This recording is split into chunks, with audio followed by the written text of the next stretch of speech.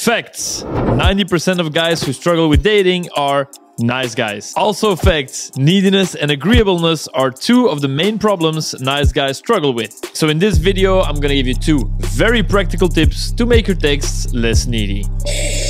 Nice guys are, well, yeah, nice. But generally, the label nice guy is negative. It means you're overly fake nice in order to prevent any form of conflict. So, what do these men do? Well, nice guys use a couple of tactics to prevent people from hating them. Because the nice guy reasons that if people don't hate them, then they're one step closer to liking them right? Nope, wrong. That's just not how attraction works. And later in this video, I'll come back to this with a clever one liner that will completely change how you see dating. But for now, nice guys avoid conflict and are needy for validation. So, what happens when they text? They put little cushions around their text to soften the blow that this text might, maybe deliver to make sure no one is offended and all conflict is avoided. Want to know what these cushions in your text look like?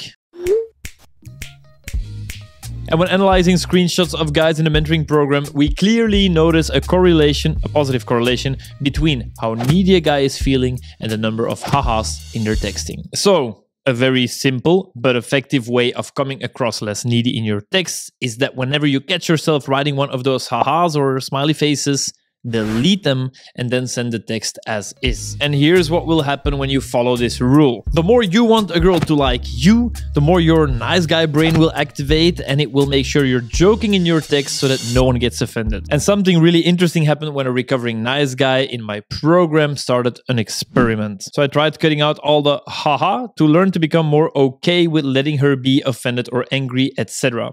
The result was remarkable. He tracked and screenshotted the results, shared them with us, and indeed, they were remarkable. Finding number one it almost never happened that a girl got upset, and on the contrary, there was way more positive tension in his conversations. Remember earlier when I said, well, nice guys use a couple of tactics to prevent people from hating them, because the nice guy reasons that if people don't hate them, then they're one step closer to liking them. Well, that doesn't work because flirting is largely based on the amount of tension between two people. And when you put safety cushions around everything you say, it excessively decreases the amount of risk you're taking, causing all tension to die. And look who you're inviting with your safe texts.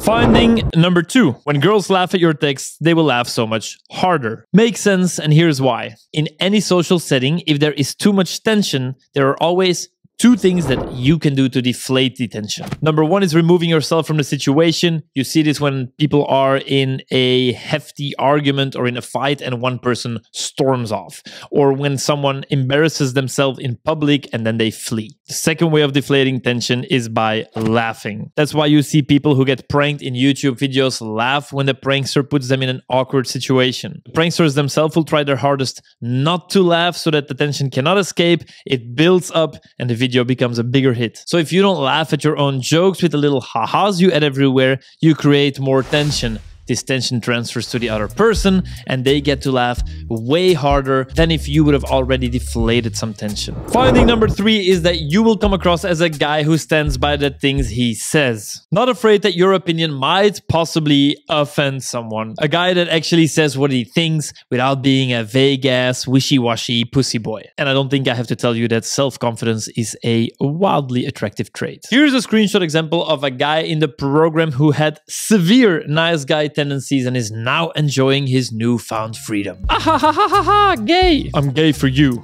Ha ha ha, I don't know, I have doubts about your homosexuality. I want to stick it in your butt. Sometimes you're very hetero. Let me give you hemorrhoids. Yeah, yeah, yeah, yeah, yeah, yeah, yeah, yeah, yeah. That's haha in Spanish. Only sometimes. Por favor. Before he would have added a long ha ha ha ha ha after his hemorrhoids text. And yes, I am well aware this is quite an extreme example. Summarized, most guys who struggle with flirting are nice guys. Nice guys avoid conflict and therefore they've got no tension in their conversations. By deleting the smileys, the emojis and the hahas after your more risky texts, you create more tension, you get girls to laugh harder at your texts, and you come across as more confident. This experiment was done within the Text God mentoring program. Quick shout out to the boys in the program who keep coming up with clever experiments and new ways to improve their texting and land better dates. I'm gonna share with you some other attraction secrets we discovered. Support. Here we found a simple way to make sure your texting attracts a relationship or a friends with benefits, whatever you're looking for at the time. One guy discovered a photo trick that boosts your attractiveness by a whopping 30% without editing the way you look our supplementary book list for all the best knowledge on specific dating questions. We have a list of perfume women love most, done by our community's fragrance connoisseur who has tested over 666 perfumes. Rumor has it the man doesn't even speak to get dates, he just smells nice. We have one guy who wrote a script that analyzes your convos and then tells you whether you're investing too much or too little, if you want to take it that far, and so on and so on. To find and attract your dream girl, get more social freedom, and become part of the world's most authentic dating community for men, book a free call with us. Link in the video description. If you just want to keep stacking free dating advice, also fine by me, then I recommend watching this video or downloading one of my free things in the video description. The 10 texts that always work, the clickbait opener, the personality slicing workshop, they're all free for you. Big wet kisses on your snout. See you later.